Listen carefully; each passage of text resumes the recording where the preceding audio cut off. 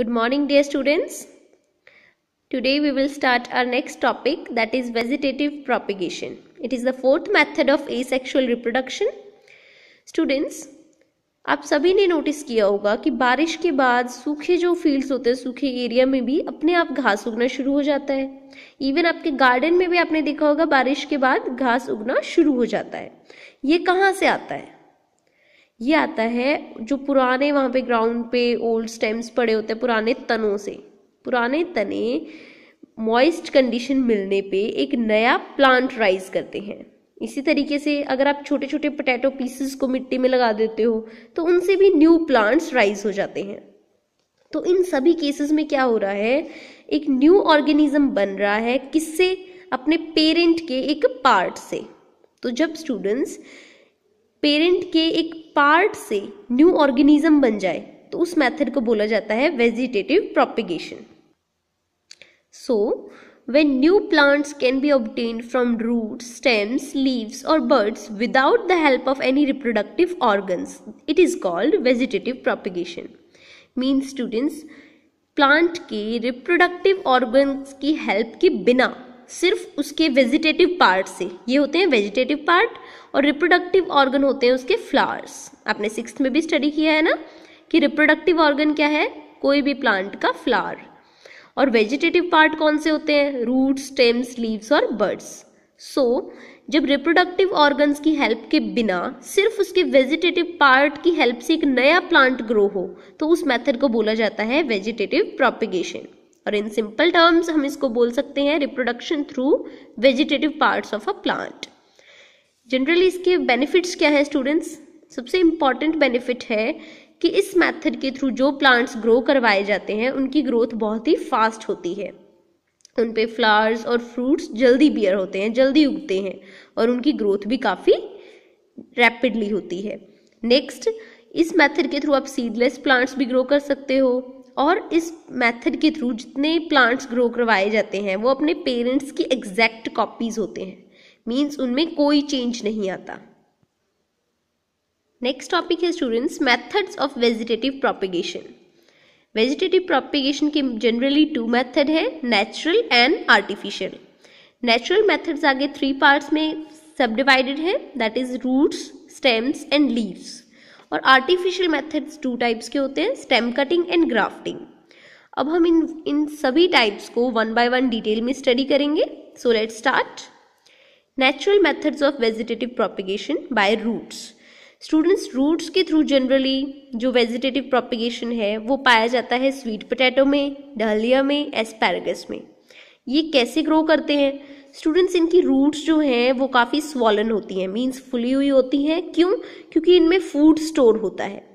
सो so, इस food से अपने न्यूट्रिएंट्स लेके ये रूट्स एक न्यू प्लांट में कन्वर्ट हो जाती हैं। इनसे एक न्यू प्लांट राइज हो जाता है। इस मेथड को बोला जाता है vegetative propagation by roots next है बाय स्टेम स्टूडेंट स्टेम के थ्रू जब एक न्यू प्लांट की ग्रोथ होती है किस किस प्लांट में किया जाता है ये मेथड टैटो में, जिंजर में, टर्मेरिक में, शुगर केन में, अनियन में, mint, strawberry, grasses, banana gladiolus इन सभी प्लांट्स में ये मेथड यूज़ किया जाता है। जैसे कि हम सबसे पहले स्टेम ऑफ़ पोटैटो को स्टडी करते हैं। स्टूडेंट्स, पोटैटो आप सभी अपने घरों में खाते हो, सब्जियों में डालते हो ना? लेकिन उस पोटैटो पे देखो, इस टाइप के कुछ ये शेप्स बने होते हैं। कई कई जगह पे बना होता है ना, इनको हम बोलते हैं आईज और इन आईज में जब हम इसको या तो पानी में डिप करके रख देते हैं या इसको मॉइस्ट कंडीशंस में रख देते हैं कुछ दिनों के लिए। तो उस पोटैटो में इन आईज में से धीरे धीरे बर्ड्स निकलने शुरू हो जाते हैं। These are known as buds तो इन ग्रोथ्स को जब बाद में मिट्टी में उगाया जाता है इस पोटैटो को पीसेस करके तो इन बर्ड्स से स्टूडेंट्स न्यू प्लांट राइज होता है। इनसे एक न्यू प्लांट की ग्रो होती है। सो so, इस मेथड को बोला जाता है वेजिटेटिव प्रोपिगेशन बाय स्टेम इसको हम जिंजर एंड स्ट्रॉबेरी में भी ऑब्ज़र्व कर सकते हैं। जैसे जिंजर में क्या होता है? अदरक में। इसकी भी छोटे छोटे ये जो बर्ड्स होते हैं, इनसे एक न्यू प्लांट ग्रो होता है, क्योंकि ये क्या है? एक स्टेम स्टेम के थ्रू प्लांट्स की ग्रो होती है। ऐसे ही स्टूडेंट्स रनर्स जो स्ट्रॉबेरी के रनर्स हैं स्ट्रॉबेरी के जो स्टेम हैं स्टूडेंट्स ये लॉन्गली इस तरीके से ग्रो करते हैं। जहाँ पे भी ये इसकी ब्रांचेस नीचे सॉइल से अटैच हो जाती हैं तो वहीं पे एक न्यू प्लांट को जन्म दे देती हैं। इनसे एक न्यू प्लांट अराइज हो जाता है उसकी रूट्स नीचे निकलना शुरू हो जाती हैं। सो so, ये स्टेम के थ्रू न्यू प्लांट बन रहा है तो ये भी हमारे सेकेंड मैथड में आता है। थर्ड है students vegetative propagation by leaves पत्तों के थ्रू ये जनरली पाया जाता है ब्रायोफेलम में ब्रायोफेलम एंड बिगोनिया प्लांट्स के लीव्स में। तो ये आपके सामने पिक्चर है ब्रायोफाइलम लीफ की। इन लीव्स के ऊपर स्टूडेंट्स कुछ बर्ड्स लगे होते हैं, इनकी मार्जिन्स में। जैसे ये मार्जिन्स बनी होती है ना तो यहाँ पे ये बर्ड्स लगे होते हैं। जब ये बर्ड्स इनसे डी अटैच होके मीन्स इनसे टूट के नीचे अर्थ पे गिर जाते हैं तो मिट्टी में मिलने पे इनसे एक न्यू प्लांट निकल जाता है इन बर्ड से। या फिर पूरा का पूरा लीफ ही एक मॉइस्ट एरिया में नीचे गिर जाए। तो वहाँ पे भी एक न्यू प्लांट अराइज हो जाता है। तो ये मेथड हमारा कहलाता है third method that is vegetative propagation by leaves next अब हम करेंगे अपने आर्टिफिशियल मेथड्स जिसमें फ़र्स्ट ऑफ़ ऑल फ़र्स्ट है स्टेम कटिंग स्टेम कटिंग में क्या होता है स्टूडेंट्स कोई भी प्लांट है, उसका एक छोटी सी ब्रांच को कट कर लिया जाता है। छोटी सी ब्रांच को ब्रांच के छोटा सा पीस कट करके उसको मिट्टी में लगा दिया जाता है। उस छोटी सी ब्रांच के टुकड़े से ही उस पर लीव्स और रूट्स उसमें से निकलने लग जाते हैं और फाइनली एक न्यू प्लांट डेवलप हो जाता है। तो इस मेथड को बोला जाता है स्टेम कटिंग किस किसमें पाया जाता है ये? रोज में चंपा शुगर ये जो शुगर केन गन्ने का पौधा या फिर रोज जो आपका प्लांट होता है फ्लावर होता है, उसका पौधा, चंपा का, इन सब के प्लांट स्टेम कटिंग के मेथड से ग्रो करवाए जाते हैं। नेक्स्ट है स्टूडेंट्स लेयरिंग लेयरिंग मेथड तब किया जाता है जब बाकी सारे जो प्रोपिगेशन मेथड्स हैं वो फेल हो जाएँ। तब ये मेथड यूज़ किया जाता है। इसमें क्या होता है कि कोई भी इसकी जो ब्रांच है, उसको मिट्टी के नीचे तब तक दबा के रखा जाता है जब तक उसमें से रूट्स ना निकल जाएँ। रूट्स निकल जाने के बाद इसको कट कर दिया जाता है और ये एक न्यू प्लांट डेवलप हो जाता है। बेसिकली जो लेयरिंग है, वो रनर्स से ऑलमोस्ट सिमिलर है।